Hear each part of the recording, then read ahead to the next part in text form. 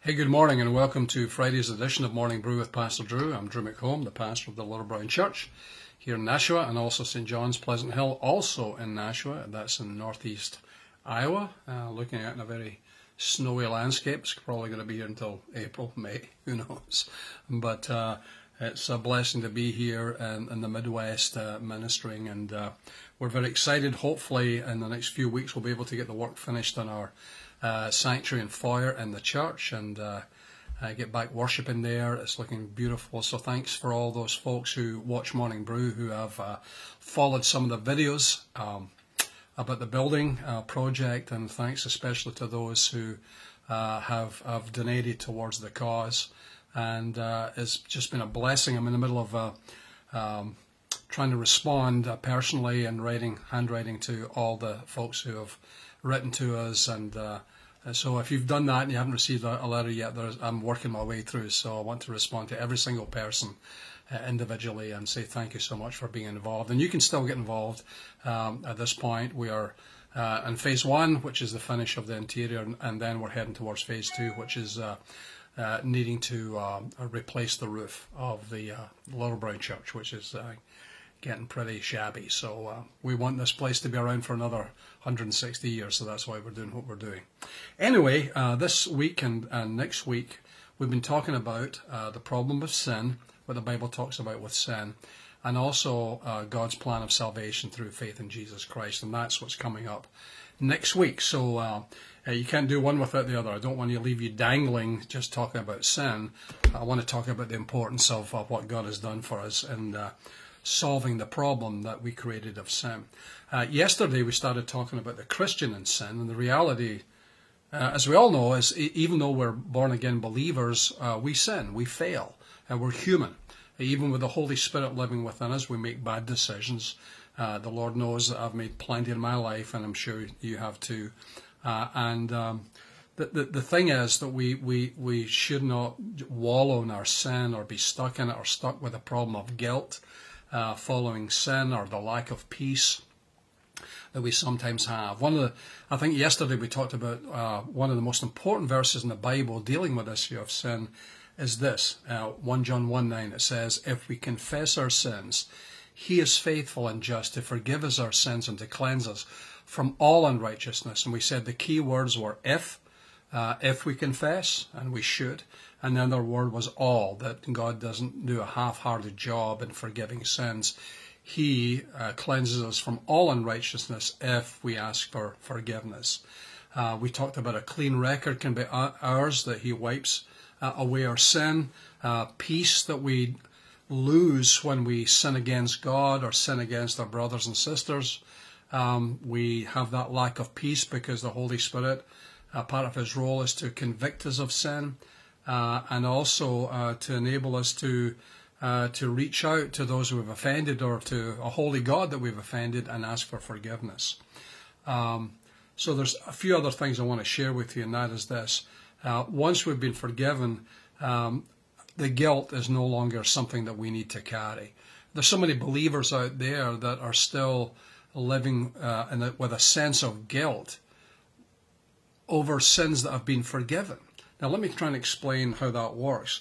So we go before God and, and we take that, that verse in 1 John 1 and we, be, we believe it. You know, we say if we confess our sins, He's faithful and just to forgive us our sins and cleanse us from all unrighteousness.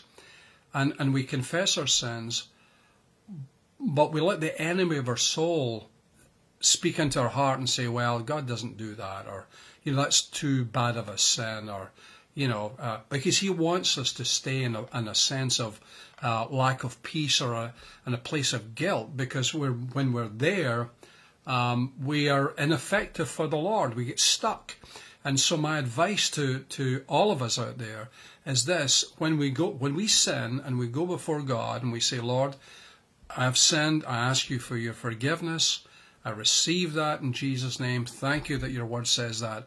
We need to walk away from there uh, believing that it's done. That the simple confession of our faith before God that's wholehearted, that's that's real, um, that's not just something because we get caught doing something, it's something that we have a real heart sorrow for doing. then we need to believe that God forgives those sins and that we're free of them and not allow the enemy of our soul to come in and whisper lies into our hearts and minds to say, no, he's really not forgiven you. You're still in your sin. You're still feeling guilty. So not only is that as uh, guilt is not yours to carry. Once we give it to Christ, He has borne it away for us. Then freedom is ours.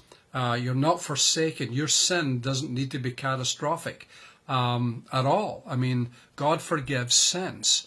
And so, but, you know, more likely the sins you've committed are not unforgivable, they're forgivable, and we bring it before God, and He forgives our sins.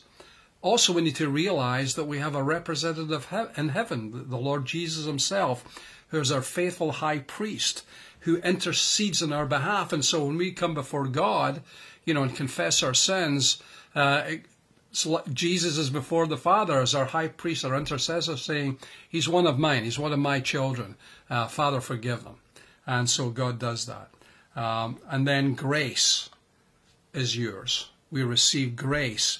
Even though our sin may be great, God's grace is greater still.